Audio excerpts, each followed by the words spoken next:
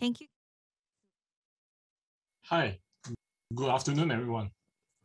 My name is Kenneth. I'm from the software system practice. Um, today's session, um, we will be going through uh, various uh, things that can be done on a Raspberry Pi Pico. So we will be discussing what are the features of the hardware itself, how can we actually use CircuitPython or MicroPython on the Raspberry Pi Pico. Any any feedbacks or any questions you you after this session you may actually you, you can actually drop me an email. My email is on the slides and um let's dive in into the agenda for today's session. First, we will actually go through what is a Raspberry Pi Pico. And we will compare this microcontroller to the, um, the, the king of microcontrollers, which is the ESP32. And what are the various similar RP2040 micro uh, chipset that was actually uh, designed by other uh, electronic uh, manufacturers. So, and we will actually go um, try to go um, understand what is micro, what is Circuit Python, who developed Circuit Python, and we will write a very simple program, or we'll go through a simple a hello world program uh, using Circuit Python. And we will also discuss a bit about the um, new feature as in not very new because in fact ESP32 has already multi-core. So we will actually go go through a bit of how a, how actually you can use multi-core in Raspberry Pi, P, Pi uh, Pico. And the most uh, the hottest topic on on the internet now is basically the programmable I/O. We will basically go, uh, uh, talk uh, uh, we will basically discuss a bit more on the programmable I/O. And lastly, I have my own tinkering project that I actually uses Raspberry Pi Pico to build a actually a custom macro keypad. And also, lastly, um, I actually create a software that integrates with the keypad that can be, in fact, uh, synced to the cloud.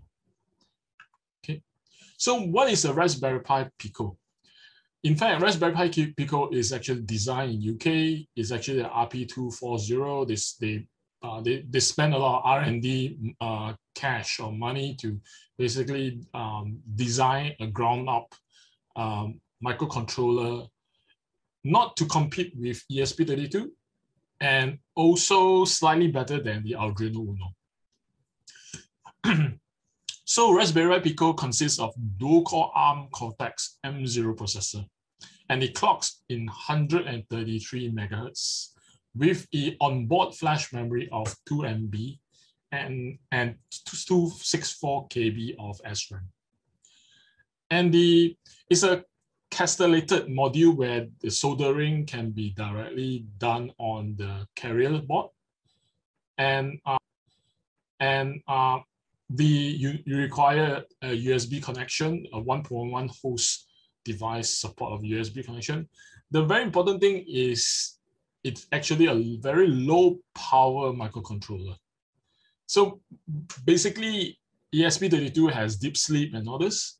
Um, this guy use the power consumption is pretty low.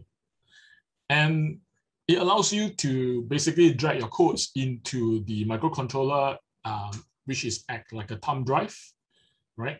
And he has 25 multi-function GPIOs, which is um, crazy. Yeah, you can have PWM, you can have ADC, uh, ADC, you can have uh, uh, you can have uh, double U, UART, and then all uh, and etc. etc. So you have you have two times of SPI, two times of I2 squared, uh, two times of uh, UART. So um, I kind of like the UART because some of microcontrollers doesn't have two UART.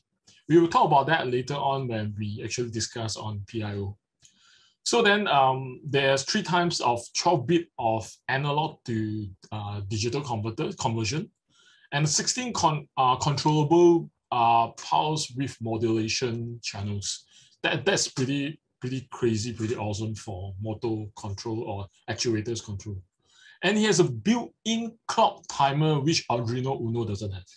So most of the time when I, when I build things on Arduino Uno, I have to actually purchase a a separate breakout board for the clock itself.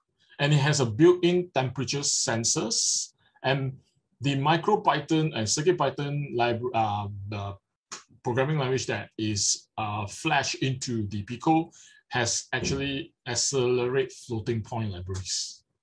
And lastly, that's what the hypes are talking about is the eight PIOs it has within the Pico we will discuss further on the PIO.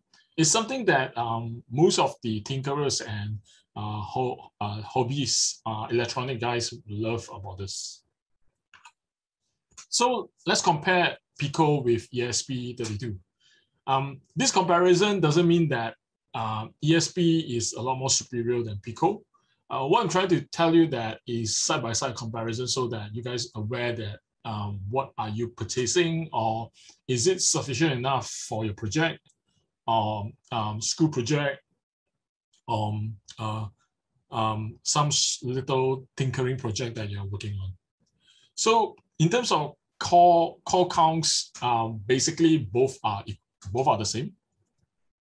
The controllers that is using uh, uh, on either one of them, they're different. One is the RP2040 and the other one is LX6. The clock speed definitely ESP2 uh, has a higher clock speed. Okay. And uh, the SRAM, um, ESP32 uh, is ahead of it. And it has larger internal flash memory for ESP32 where Pico has only 2 MB. And external, um, ESP32 doesn't have an external flash support. So that means that you will not have a thumb drive like uh, storage on ESP32 where Pico have. And subsequently, most of the SPI, I2C, PWM, ADCs, and GPIOs, uh, the winner will be on the ESP32 side. But I think to me, um, the Raspberry Pico is very, very good for a beginner who wants to basically learn uh, IoT electronics and you know tinker around.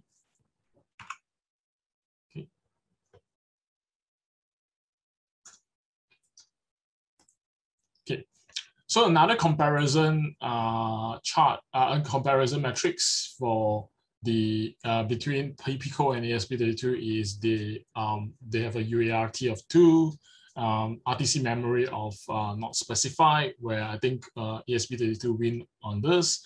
Both of them runs on the uh, voltage of 3.23.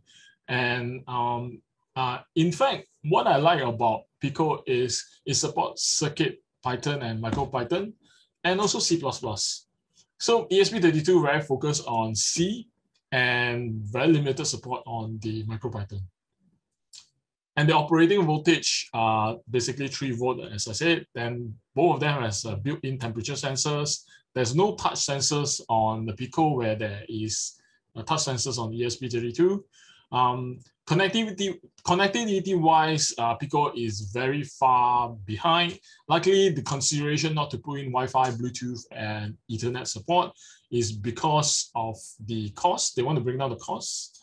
Um, and both microcontrollers actually support um, micro SD card or some sort of uh, solid disk card, yeah, MMC slots. So then uh, the chip itself is actually $1 in Pico um, for ESP32 is $4. So if you are buying a board, a microcontroller board or a microcontroller breakout board for Pico is actually around four US dollars. In Sing dollar is around seven. Okay. One of the various RP2040 chipset that is already available that you can order online uh, I have basically uh, curated a few uh, of them. There's from SparkFun, they have a few versions. They have the Plus and they have the Micro. They have the MicroMod. So it's like it's like your it's like your GPU cards where you slot in, you know, to a bigger controller. There's uh, Pimoroni, Teeny, a little, little uh, um, uh, 2040, and Adafruit. Adafruits, the feather RP2040. Um, so the differences that I actually observe in between all these uh, other uh, variants of uh, microcontrollers is actually some have LiPo, some don't have LiPo, some has the uh, reset button, some doesn't have reset button, and very importantly, the connectivity, which is Wi-Fi and Bluetooth. So um, Adafruit also has a very teeny little uh, RP204, 2040. Um, unfortunately, um, unfortunately, they can actually uh, uh, actually squeeze in the reset button. Uh, majority, all these microcontrollers has a reset button, which the original Raspberry Pi Pico do not have a reset button. So then our Arduino also have his own Pico. So Arduino Nano RP2040 Connect. Uh, basically, Arduino is competing with Adafruit Feather. So both of them has connectivity. Okay. So what is CircuitPython? So CircuitPython is an open source derivative of a MicroPython programming language. So it's targeted for education and beginners who love to actually develop things on electronic uh, the uh, uh, microcontroller boards, right? So then the development of CircuitPython is actually supported by the Adafruit Industries. And why why is it uh, why is it so famous and why people use circuit Python? It's basically it's very easy to use. It's straightforward. It's suitable for those who want to learn electronics and uh, uh, start off with programming. And for me, it's actually quite easy to update the source code to the microcontroller where Arduino, you need to select the port, you need to select the correct microcontrollers, then um, and you make sure you have to make sure the, the, the C libraries are compatible with the microcontroller. So all these are basically, um, you do not ha have to face all these uh, technical uh, uh, roadblocks or, you know, in between. So you just got to code your Python codes and then drop it into the uh, microcontrollers that support uh, that which is a circuit circuit Python or MicroPython base. Then there's a REPL console where interactively you can type in uh, Python codes and you can store things on the uh, microcontrollers that is which is the Pico. There's a file storage. Like I said, remember just now I did a comparison. There's actually a few, M, uh, few MB of storage inside. And there is actually a strong community support and strong hardware support. And lastly, um, the easiest language to learn on earth is actually Python, right? So, so what's the difference between CircuitPython and MicroPython? There's a bit of difference here where only a certain microcontrollers are supported on the one, one of the other side. Yeah. So how do you actually flash your Pico with CircuitPython? You have to actually navigate to this uh, URL here and download the UF2 firmware. And it's actually in a binary format. In order to basically flash it, you have to unplug your USB cable off the Pico and press and hold the boot select button on the body on the micro on the on the Pico itself, and subsequently plug in the USB cable and it will basically uh, turn into another mode whereby uh, you will ask to basically drop your firmware into the drive. So there's actually uh, um, there's two two mode that actually provide in the uh, on the Pico itself. One is programmers who want to write their codes and get things working on the Pico.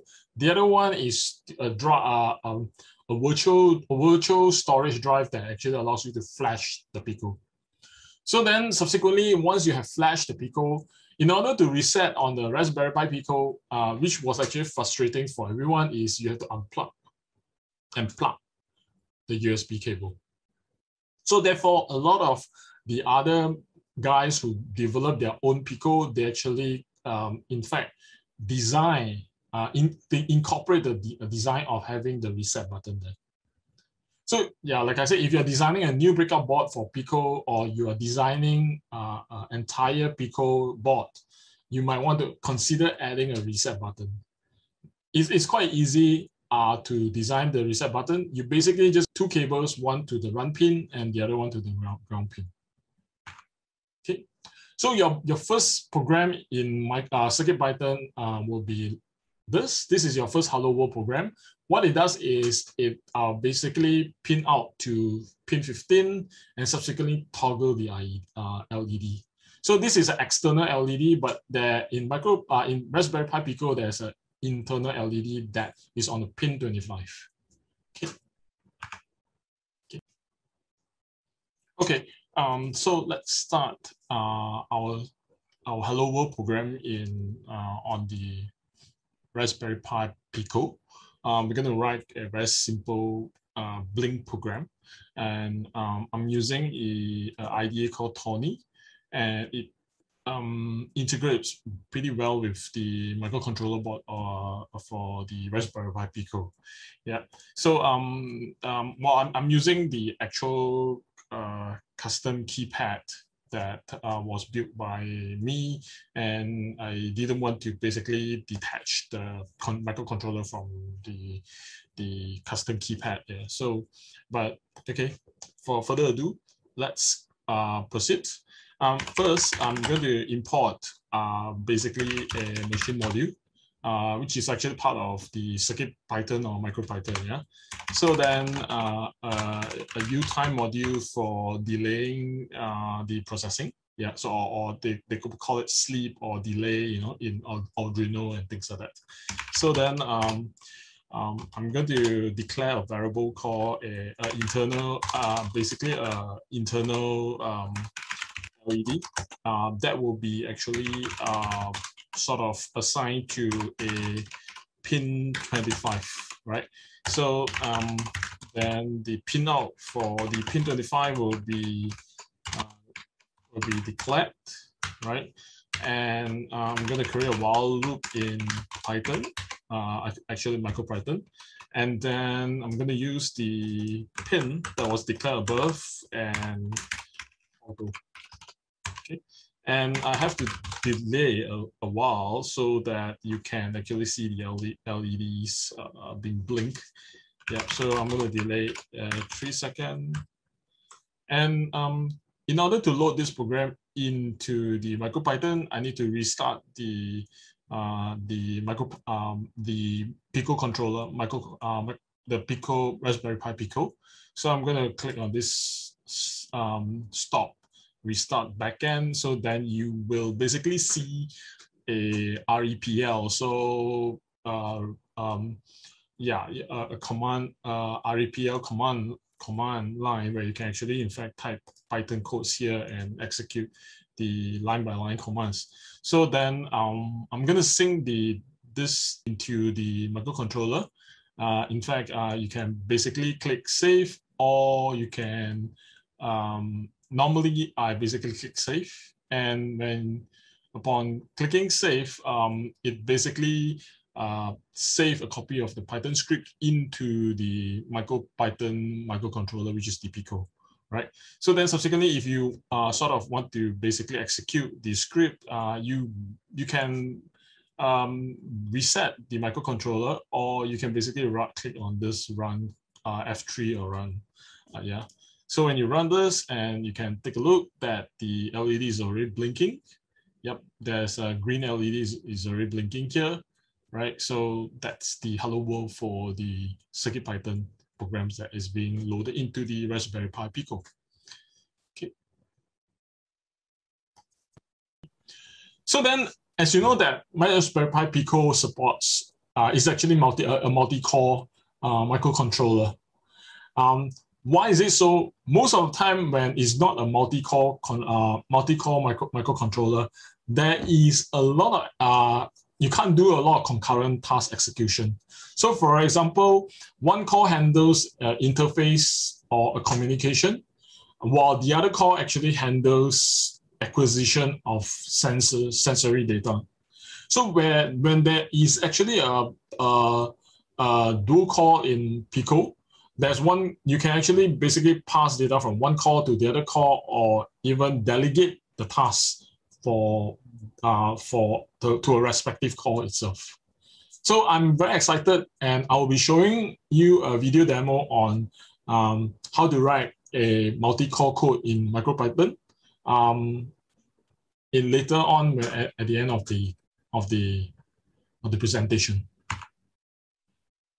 So then, uh, but I have snippet codes that is attached to these slides, which I might not want to basically thoroughly go through, but briefly go through with you what I did on this um, to simulate the multi-core is there's two core, right?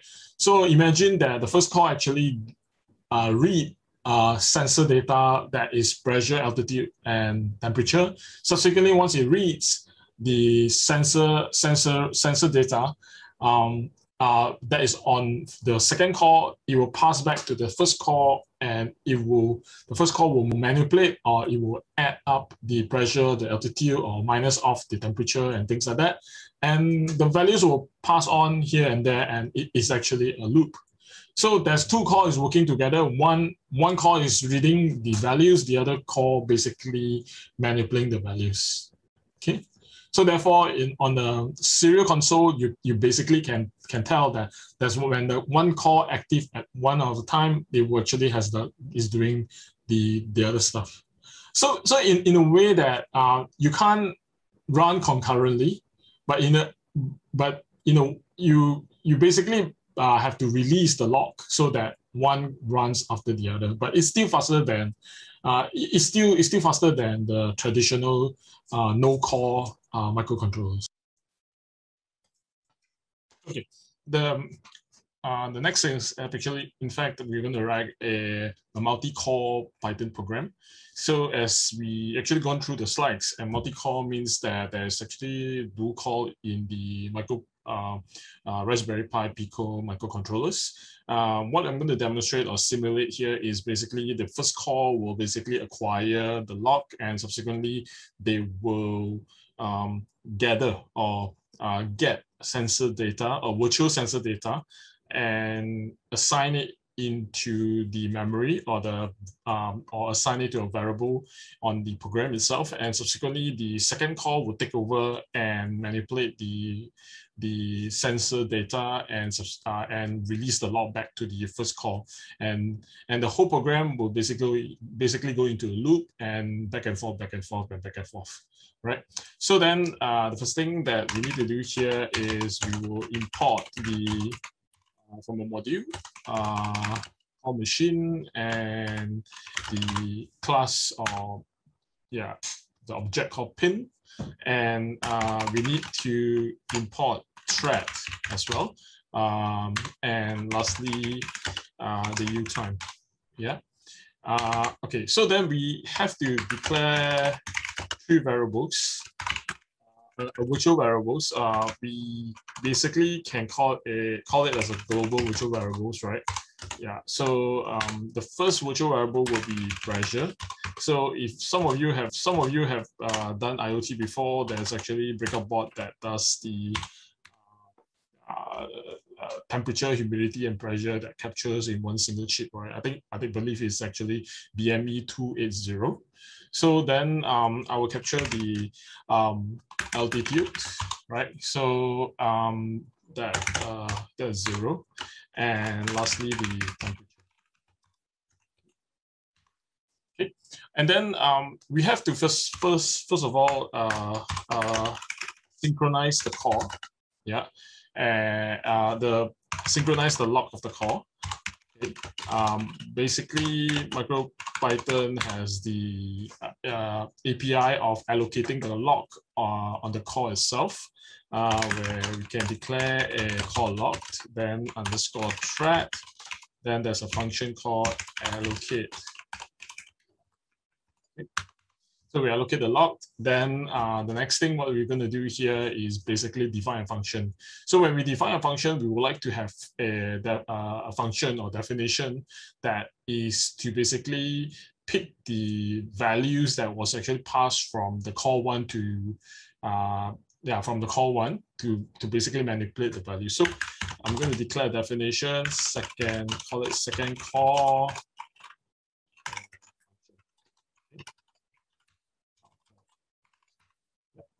So then uh, I, I need to basically write to the variables that is outside of the program, right? So basically I need to use a keyword glo glo global. And then uh, the same thing for the uh, altitude. So the, okay. okay. So then I'm gonna run with a while, okay? And the first thing I'm going to do is I, from the call locked, I will acquire the call locked, yeah, and then uh, sleep uh, for two milliseconds, okay, and um, um, while I okay, so while sleeping, then uh, I, I basically would like to uh, sort of a Okay. Okay. So uh, sleep for two millisecond and then print. Let's try to print things here. Uh, call to sensor data. Then, um, in fact, I'm going to print um, the the pressure the pressure and altitude and the temperature. Yeah, so uh, pressure. Okay, then, then the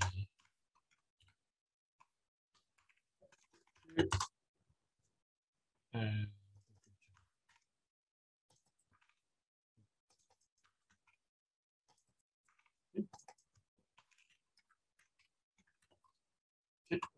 So then um, once I acquire the data was actually uh, passed from the call one and uh, being printed out on the call two, I will eventually release the log. But then before that, let me sleep for another two milliseconds. And before that, uh, then uh, lastly, I will just release it back to the call one. Okay. okay. So then um, well, uh, we have to basically start this function. So uh, we need to actually pass on this function to the thread in the MicroPython uh, programming uh, runtime. Yeah. So then uh, I will be using the underscore thread and uh, what I'm going to do is I'm going to call a function called start. Okay, start uh, start new thread, and then pass in the function that was actually declared by us uh, or the definition. Okay, uh, pass in this. Okay, pass in this, and then the second argument, uh, we will not be passing anything. Then we will just pass in an empty tuple. Okay. Um, then we will have a while true. Okay, while true, uh, the same thing. The first thing I need to do is I will use the call locked to acquire the call log for the call one, right? So then uh, I'm going to print here call one, uh, call one uh, active. So then um, uh, the call one will be acquired and subsequently what I'm going to do here is I will sort of wait for two milliseconds and I'm going to manipulate. Uh, I'm going to simulate or manipulate. So I'm going to print something here called simulate. Okay. So then uh, I'm going to plus or minus the uh, uh, virtual sensor data. So basically, uh, pressure, I'm going to go to plus, I'm going to plus 20 to it. Altitude, I'm going to plus uh, minus or plus minus 10, then uh, temperature, I'm going to plus 5, right? So, okay, so then uh, this is where I actually update the, um, the updating global variables. So that's how I update the global variables. Then I'm going to sleep for another two milliseconds.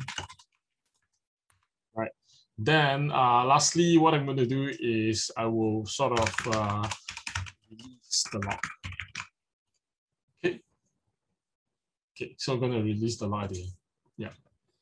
Okay. So then uh, save. Okay. Once uh, let's take a look. Uh, it, it on the on the microcontroller, you won't see any anything happens because the core uh, is basically internally the uh, the the execution is actually done on the core uh, on the on the on the RP two zero four zero call uh, the do do core processor. So yeah. So but then we have a, a serial probing into the debug statement so that you can actually tell that what is happening uh, inside the microcontroller. So I'm going to run. Uh, let's let's restart the backend first to make sure that uh, it is actually a clean state and then uh, there's no running program in, on the on the on the Pico. So then I'm going to run. Okay, um, can't import pin. Oh.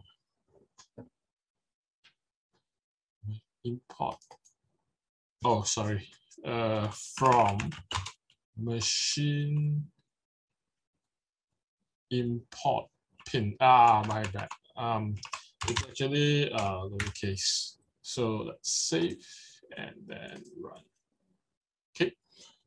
Okay. So uh, basically, the first call is activated, and then it simulates the um, the virtual sensor data, and then sub subsequently, uh, yeah. So the second call take over, right? Then it pass back to the first call, and and then the first call try to, to try to uh, increase or manipulate the, the, the stuff again, and the second call will receive the data. So basically, this is pretty cool because uh, most of the time there will be acquiring of data from sensors, and subsequently there's certain processing needs to be done on the second call. That will speed up a lot of things in the microcontroller world. Thank you very much.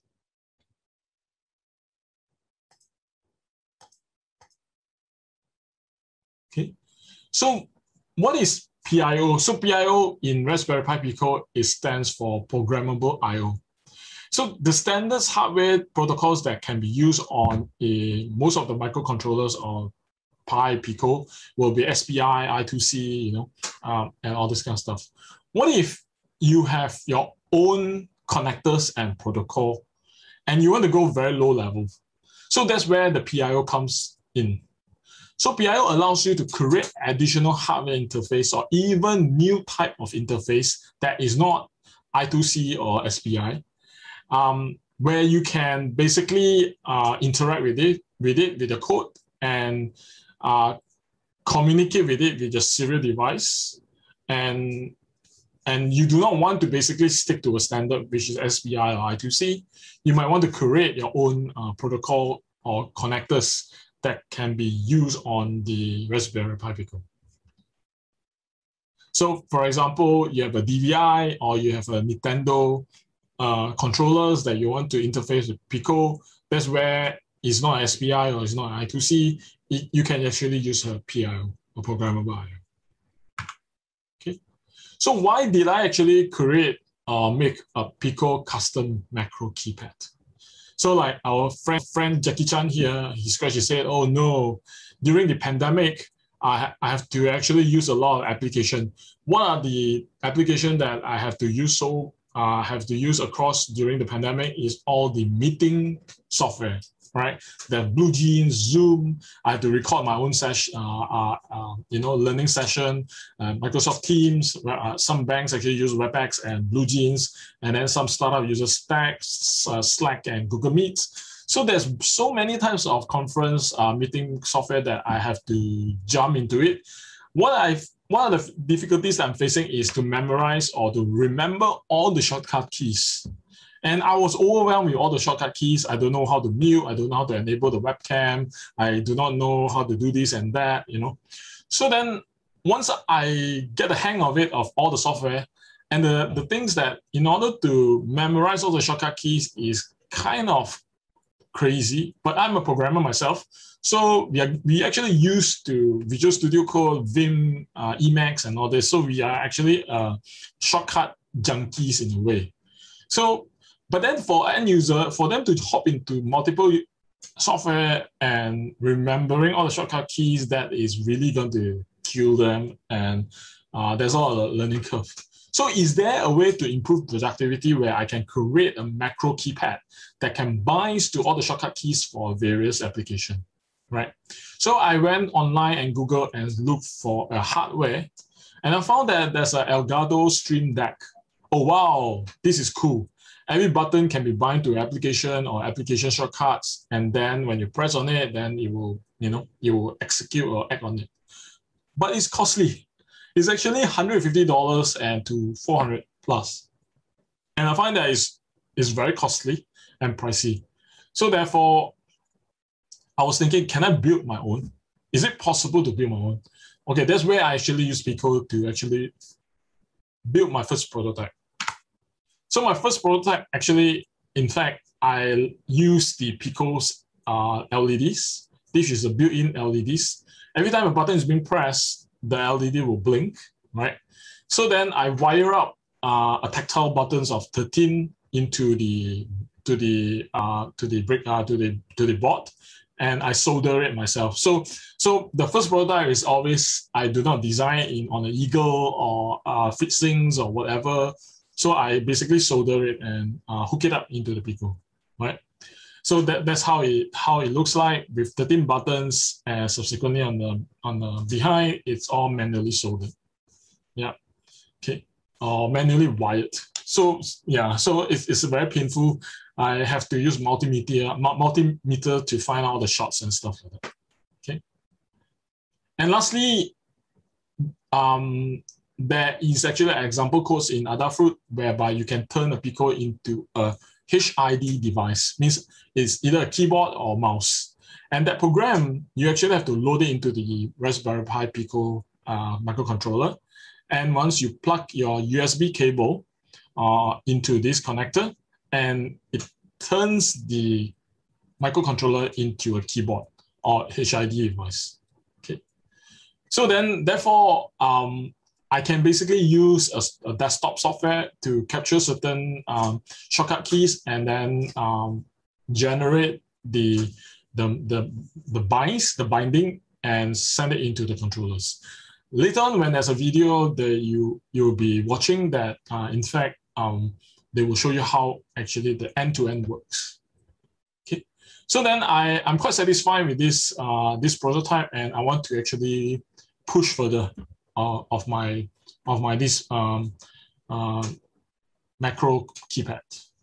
So I have a version two. So the version two uses 16 built-in addressable RGB LEDs. So it is no longer color coded on the buttons. So every uh, cherry uh, key, um, they actually uh, has the LED at the back that is light ups. So now it's from 13, I actually increase it to 16. And the, the same CircuitPython program that is used on the previous version will be also used on this version. And and and I I and we and design a PCB that is on ground up and sent to uh, JLCPCB or send or send to the China PCB manufacturers to print out the PCB for me. And subsequently, um, you have to manually um, plug in your the cherry keys. And there, therefore, I'll design a, a box and enclosure that to make it nicer. Okay. This is still under development, uh, yet uh, not fully tested on the software, the desktop software that I developed using Flutter. So I will be showing you um, a demo later on. Okay. So a micro keypad configuration software that is written in Flutter, which is a desktop software. Um, as you know that Google is pushing for Flutter, uh, you can develop, uh, you can using you can use Flutter to develop mobile, uh, web, and desktop. So one code base rule them all. And both of the micro keypads, you, uh, the version one and version two, is actually integrated with this desktop software. And all the configuration, um, all the configuration that is being configured on this desktop software is actually able to sync to the cloud. And once you have configured all these buttons here, so um, it, this is a bit small. What, what I'm uh, basically there's a demo video that I'm going to present to you so that at least it's clearer. So what this screenshot does is basically every button is bind to a shortcut keys. A button can be bind to a shortcut keys. A button can be bind to a text message. So whenever you when you press when you press any of the buttons on the hardware, it will pick up the actual execution or the behavior that is being by, uh, being configured on onto the device itself. Okay. So this is this is 13 keys and this is 16 16 uh, buttons uh, keypad. All right, hi guys. This is a demo of the uh, macro keypad alongside along with the uh, customized software or the configuration software that is actually developed using uh, Google Flutter. Okay, um, so there is actually a drop, drop down that you are able to select two types of keypad. One is the, the custom one that is built uh, as a prototype and subsequently there is a, a version 2 that is called Keybow, Key and and uh, if if if you select um, the other keypad it looks like this. So it, it actually has an enclosure then there's mechanical cherry key uh, keyboard uh, key keycaps that is uh, uh, uh, being pushed into the uh, newly newly created PCBs okay. So let's focus on um, the configuration what this configuration does is eventually um, the the the values of the configuration will be captured on this application. Subsequently it will basically generate a python script or a CircuitPython script that will be synced into the microcontroller which is the raspberry pi pico right? So then um, the the second the second drawdown below here is basically the application profile um, uh, for this demonstration, we will be focusing on Zoom, the Zoom application. So uh, I'll be selecting Zoom and and therefore is actually mainly for the custom Pico keypad. And um, in this keypad, there's only 13 buttons, but the the other one, which is uh, the version 2, has 16 buttons, right? So then um, while basically what we're going to do here is there's 13 buttons you have to basically assign the 13, 13 buttons with all the shortcut keys along with it. Um, so what I'm going to do here is um, basically I will start to assign all the shortcut keys. Um, there's a drop down here. Um, you can basically select short shortcut keys and text so um, if you want to actually micro microize or actually in fact uh, you do not want to type when you're having a zoom session for for example uh, you have to greet your student uh, every time it, uh, the uh, the the course start in the morning, and then you have to actually uh, say goodbye to the student after when the course end and all this, and there's a lunch break, uh, tea break, and stuff like that. You can basically macro your text. So you say, hey, hi student, good morning everyone. Uh, how are you guys doing? And things like that. Or you could, uh, guys, can you go for a tea break of 15 minutes and come back later? Yeah. So you can actually microize, macro, or macroize the text that uh, which is bind on the buttons of of the of the uh, 2D 2D macro keypad itself, right? So then uh, the first button, what I'm gonna do is I'll stay with F1, and second button, I, will quickly do this um, so that um, so so that you guys don't need to basic. I don't need to basically go through every single uh, binding itself, uh, but uh, I will just I will not I'll skip a few so that uh, local um, recording show height this is quite important because um, this this two functionality I actually use a lot when you open up the chat panels and then there's participant panels and stuff like that then um, I will do an end meeting right and lastly the button 13 I will use a text I say I will type bye bye Okay. Bye bye everyone. Right. So then, um, right after you have configured all this, uh, you uh, there's a floating action button on the lower lower right on my side, uh, a speed dial. Um, what you have to do is you click on it and select uh, a Python code, right? um, you guys won't be seeing the dialog box that is pop up on the screen but uh, what I'm what I'm basically doing here is I'm going to the um, the CircuitPython um, microcontroller is actually a, a drive.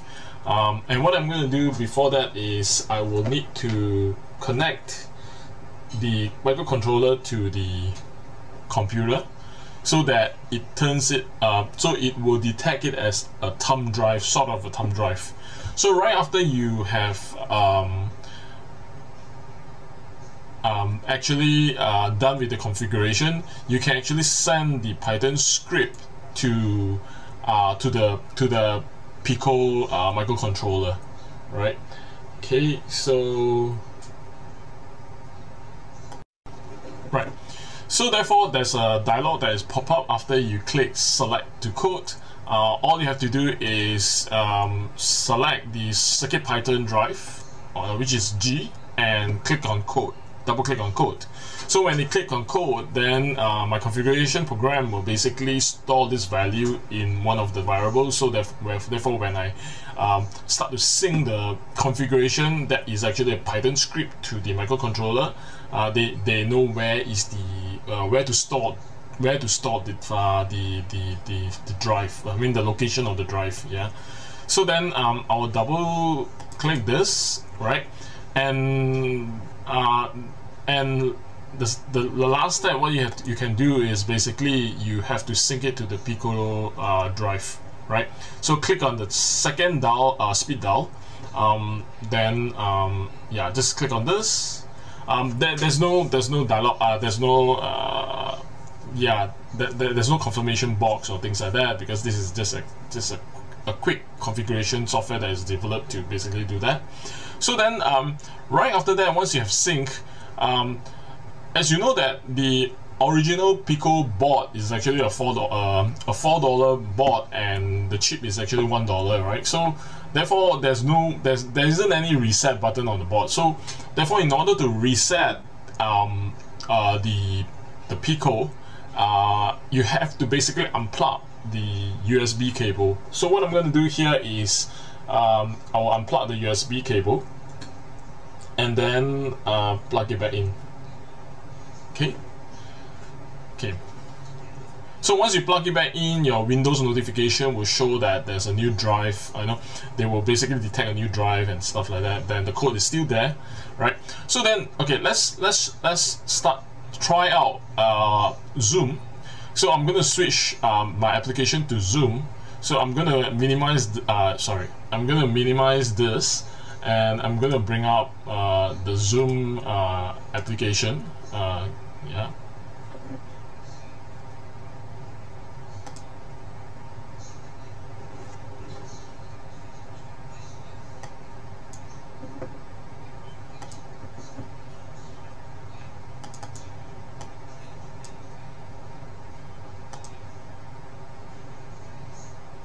right okay so let's press button 4 so button 4 is one, two, three, four. so this is button 4 right? So uh, so is when I press button 4 uh, the the mic will actually mute and unmute right? So uh, button 4 so yeah. So un unmute again you press it again right? So then um, there will be other buttons. So this is uh, right. So then um, they okay so uh, button um, yeah okay let's bring up the chat panels which is button 10 right? So um, let's see button 10 so this is 1 2 3 4 5 6 7 8 9 10 so this is button 10 okay bring up the chat panel. So um, yeah you can tell from on the side there uh, the chat panel is up right? So uh, let's minimize that okay? So the chat panel is up right? So then there is a special uh, button that actually type the text in right? That will be the the last button. So um, that will be the last button.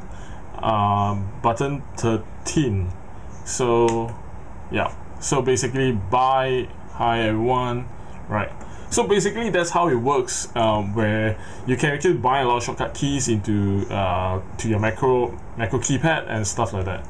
So thank you. Right. So the last part of this uh, demo will be um, I'm going to show you how the configuration of uh, all the keybinds um, uh, towards the buttons will be saved to the cloud. And um, while this this um, desktop app desktop application which is written in Flutter will actually call a um, a cloud serverless function where the they, they will they will perform a post and the post will basically insert uh, the configuration uh, as a record on the on the real-time database in, in on Google Fire, Firebase, right? So um, what I'm going to do here is I'm going to select Zoom and let's let's do this. Um, basically, um, click on multiple selection of um, assignment to the key shortcut keys.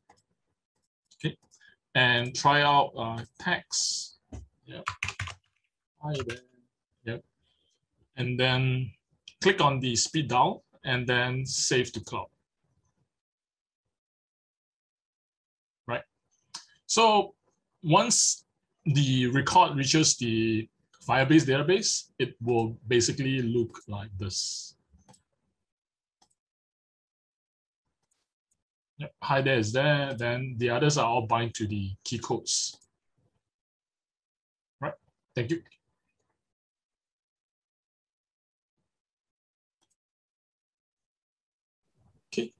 So uh, along the way, um, I before I actually started off this project, I did a lot, I actually went through a lot of research and I, I do a lot of read up. So uh, there's a reference link that is on the on my presentation. Uh, if those of you who are interested uh, on this project, you might want to go to my GitHub link. Uh, that's where I store my Python codes and Flutter codes. Um, uh, but I, I did not I, I did not commit my PCB design. Um, likely when I'm done and tested well with it, then I will basically commit my PCB design.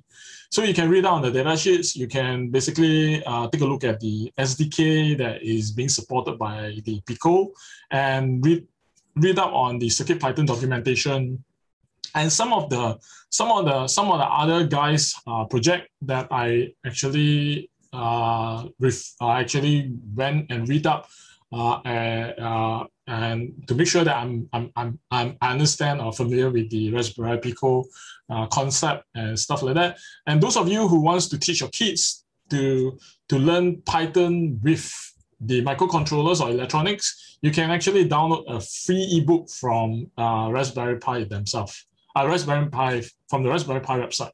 So they actually, um, you can actually buy a $20 uh, book that is selling on by the some of the electronic vendors, or you can actually download the book and basically load it into your your iPad or whatsoever um, you know notebook to read.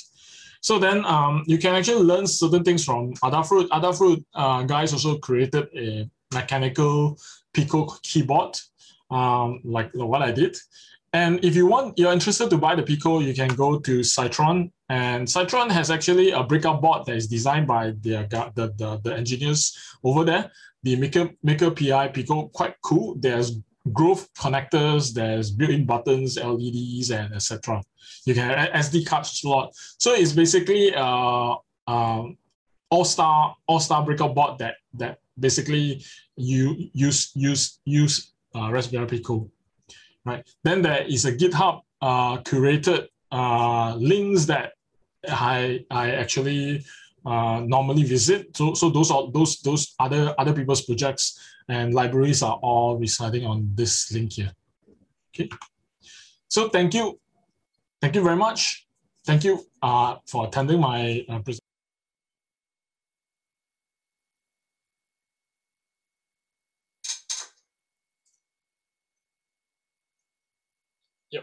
Yeah, hi everyone. Uh, if you have any questions on my session, please uh, raise uh, yeah raise it on the chat. Thanks.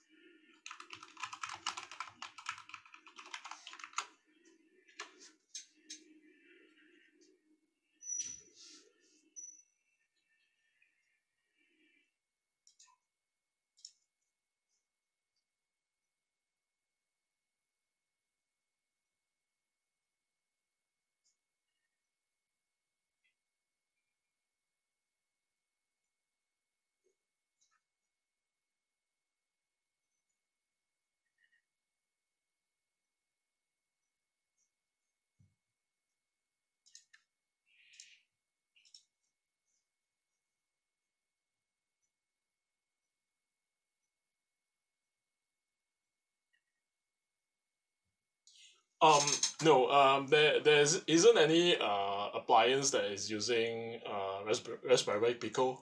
So um, I I guess um Raspberry Pi Pico was actually created for uh prototyping and education purposes.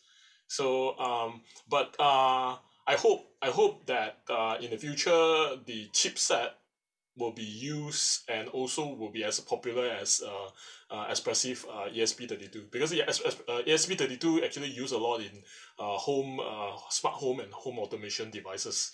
So like like uh like those relay relay that you plug in into your uh traditional uh electron electrical appliances to on off a light or you know to off a a, a fan or whatsoever by what's uh Sonoff all this kind of stuff tas~ tasmota all this so um um the the board itself will not be used on the commercial uh product but the chipset itself uh will likely be uh very um uh it will compete with uh Arduino and ESP thirty two in in in terms of implementing in the commercial world. Because um the the the thing that I like about the P_I_O is actually uh if you uh some of you guys actually play R_C cars you can actually uh in fact uh interface with a lot of uh other protocols and connectors which uh which the other co~ microcontrollers do not have this feature. So the other co~ uh other microcontrollers focus on S_P_I uh I two Cs you know. But this guy you can basically you know have your own uh custom interface and also uh interface with a lot of connectors that is already available in the uh that that is that that is not part of the standard but you you want to actually integrate or interface with it. Right I hope that the chipset will will take place in I_O_T or smart home Yeah.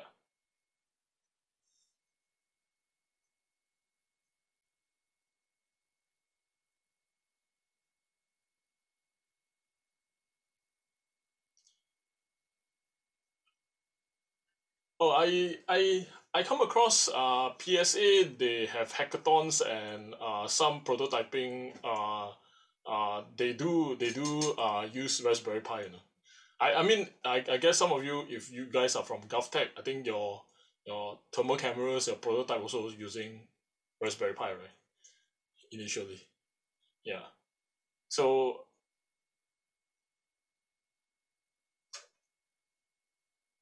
it's hackable as in yeah I think I think most of the microcontrollers today um is definitely hackable ya if if let's say there's there's not enough uh secure con~ coding and uh infrastructure related con~ consideration. So so basically writing good codes on the microcontroller doesn't help very much. It's actually uh a combination of everything.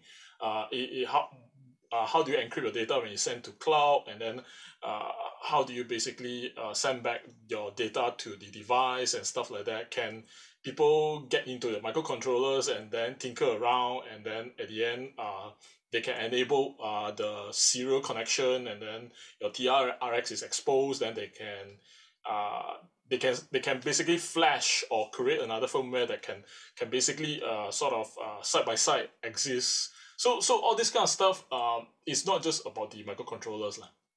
It's it's everything as a whole.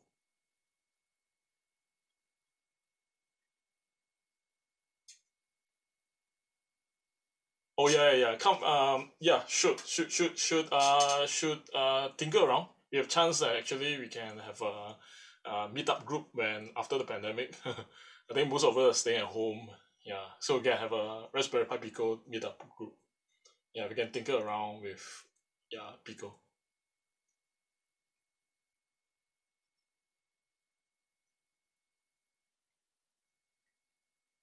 Okay uh so uh thank you very much everyone. Uh I hope you guys uh like this session. This session is a bit uh technical um and but the the thing that I I want to convey to you guys is likely uh when you actually consider design uh I_O_T solution right it's it's not only about the the the microcontroller itself or the program itself it's actually uh end to end ya so what what sort of solution you you put in place or what sort of cloud solution that you integrate with it. So yup. So I hope that uh yup. I'll I'll see you more uh in I_S_S if you actually attend our course thanks